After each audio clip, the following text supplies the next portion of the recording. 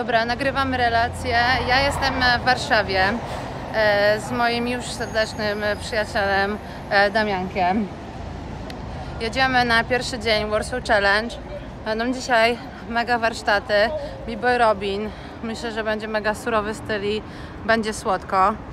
Coś ciekawych rzeczy. Damianek wydaje kolejny tomik wierszy i ku naszemu zdziwieniu będzie to dyskietka 3,5 cala, czyli całkiem nieźle. Z jeszcze dobrych informacji będę siedzieć sobie tutaj teraz półtora tygodnia, będzie dużo densu, dużo bansu i dużo wszystkiego. Ale co jest najlepsze, dostąpiłam dzisiaj ze szczytu.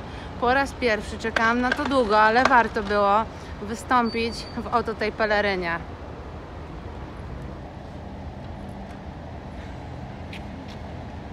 Dokładnie tak. E, dziś, jest pierwszy raz w pelerynie, Damian też ma swoją na plecach. Jest cudownie, mamy jeszcze inne stylówki na kolejne dni.